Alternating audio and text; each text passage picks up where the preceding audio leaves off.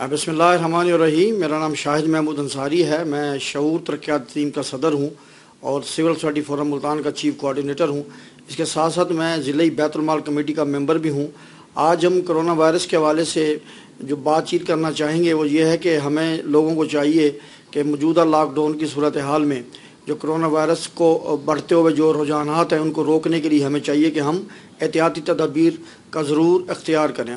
एहतियाती तदाबीर जो हैं, वो हमारी अपनी ज़िंदगी को न सिर्फ़ महफूज बनाने के लिए हैं, बल्कि जो एहतियाती तदाबीर हम अख्तियार करेंगे, वो दूसरों की ज़िंदगी को महफूज बनाने का ज़रिया भी बन सकते हैं। इसमें बड़ी आसान सी एहतियाती तदाबीर है, इसमें कोई मुश्किल भी नहीं है। मसलन, हम अगर पब्लिक में जाएँ या किसी के साथ बैठें, एक तो वो ज़रूरी है कि हम सोशल डिस्टेंस हमारा हो, यानी कि समाजी फासले पर हम बैठें। छः सात फुट के फासले पे जाके हम बैठें दूसरा ये कि हम कोशिश करें कि अपने मास्क का इस्तेमाल करें और जहाँ कहीं भी जाएँ, हर चंद आधे घंटे बाद या कुछ लम्हात के बाद हम साबन के साथ अपने हाथ को 20 सेकंड तक कम से कम लाजमन धोएँ या फिर उसकी जगह हम सैनिटाइज़र भी इस्तेमाल कर सकते हैं। ये वो एहतियाती तदाबीर हैं जो न सिर्फ़ आसान हैं, बल्कि हमारी ज़िंदगियों को महफूज बनाने का एक ज़रिया भी हैं। इस वक्त पाकिस्तान में हुकूमत पाकिस्तान जो है, वो अवामनास को कोरोना वायरस के फैलाव से बचाने के लिए जो इकदाम कर रही है, वो भी काबिल सतश हैं।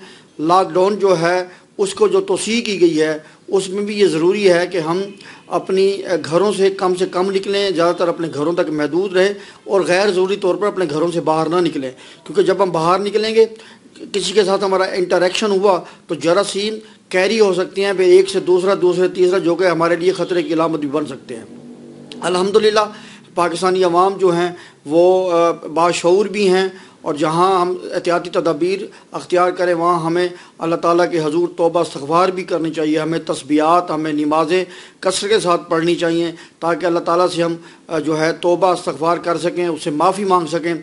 और इन हमें तवक्ल है, हमें अल्लाह ताला पे पूरा पूरा तवक्ल है कि अल्लाह ताला हमारी लग्जशों को, हमारी कोताहियों को ज़रूर माफ़ फरमाएँगे और हम पर जो है आसानी के बादल बरसाएँगे और हम इस आलमी वबा से अपनी निजात पा सकेंगे। जी, बहुत बहुत शुक्रिया। मैं A N N T V channel का और आपकी टीम का इंतहाई मशहूर हूँ कि मेरे अल्फाज जो हैं वो आवाम तक पहुँचाने का आप ज़रिया बन रहे हैं। बहुत शुक्रिया जी।